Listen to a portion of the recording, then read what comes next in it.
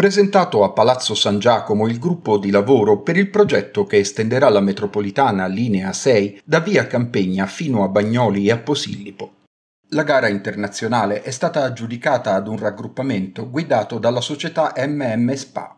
Questa opera valorizzerà Bagnoli, l'area di Bagnoli che da tanti anni è, è stata in una situazione così diciamo di, di, limbo, se vogliamo usare questo termine, eh, e la possibilità di, di eh, sviluppare eh, lato turistico la parte di Posillipo.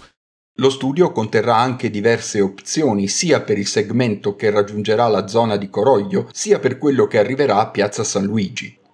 Il valore della progettazione è di 21,3 milioni di euro. Ci sono due opzioni che stiamo analizzando eh, sulla posizione della stazione Neghelli, che può essere all'interno o all'esterno della caserma, eh, e poi dopo linea, il tracciato arriva ad Acciaieria, oppure se passare eh, dal lato del parco dello sport, mentre verso Posillipo si ipotizza una, diciamo, solo, un solo binario con la metro che andrebbe avanti e indietro a seconda delle esigenze. Comunque stiamo analizzando tutte le ipotesi e le condizioni al contorno, per verificare qual è la possibilità e qual è la migliore condizione di passaggio per il tracciato.